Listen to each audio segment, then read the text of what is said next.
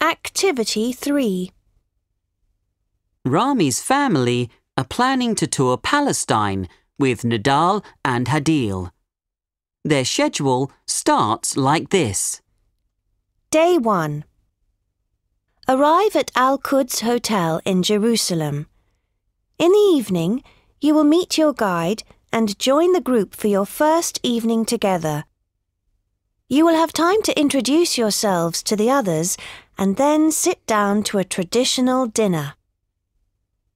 Day 2 9:30 We travel by minibus to the Great Damascus Gate for our walking tour of the old city from 10 to 12 o'clock. Please wear comfortable shoes.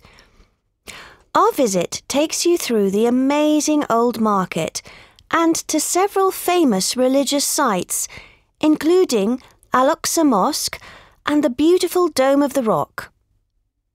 Two o'clock. After lunch at the hotel, we visit some important sites outside the old city, like the Mount of Olives. Six o'clock. We return to our hotel for dinner and an evening of traditional music. Day 3 9:30 Our comfortable tour bus takes us to Nablus and straight to our new hotel. From there, we explore the busy city centre, visit a traditional soap factory, and eat at one of Nablus's many excellent restaurants. Two o'clock.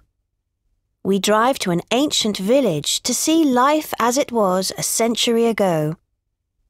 First, we visit the museum and then the local community centre for an afternoon class in traditional cooking. Finally, we taste the best of Palestinian food as we sit down to a dinner of their finest local dishes.